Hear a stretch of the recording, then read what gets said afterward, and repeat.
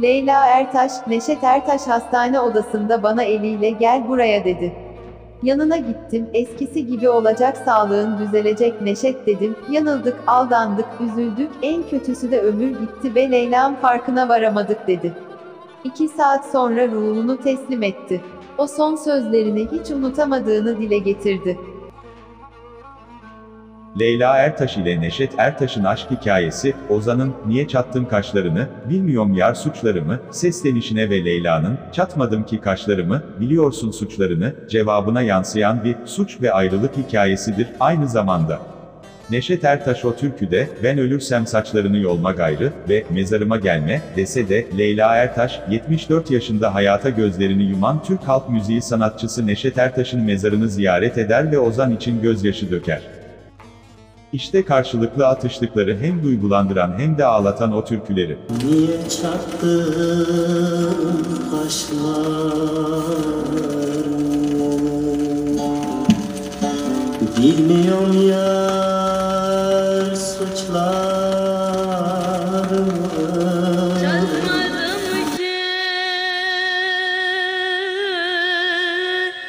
Kaşlarımı Neşet Ertaş Leyla'ya seslendi. Niye çattın kaşlarını? Bilmiyorum yar suçlarımı. Ben ölürsem saçlarını. Yolma gayrı, yolma Leyli, Leyli. Leyla Ertaş cevap verir. Çatmadım ki kaşlarımı, biliyorsun suçlarını. Sen ölmeden saçlarımı, yolam yarim, yolam yarim, diyerek karşılık verdi. Neşet Ertaş. Ben yandım aşkın narına. Meyletmem dünya malına. Ölürsem ben mezarıma. Gelme gayrı, gelme Leyli, Leyli, dedi. Leyla Ertaş buna da karşılık verdi.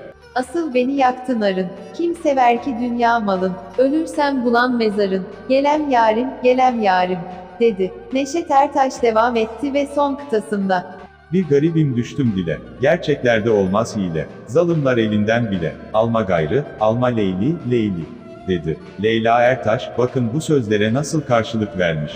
Garip olma düşme dile, elbet doğruda yok hile, görsem zalimler elinden, alam yarim, alam yarim, diyerek hem sevdayı, hem aşkı, hem hüzünü, hem sitemi bir arada yaşadılar. Türkülere konu olan bu aşk, artık sarılacak bir yara değildi. Ama saygı ve sevgi hep vardı, ruhun şahat mekanın cennet olsun büyük usta. Leyla Ertaş ablamıza da, sağlıklı, sıhhatli uzun ömürler dileriz.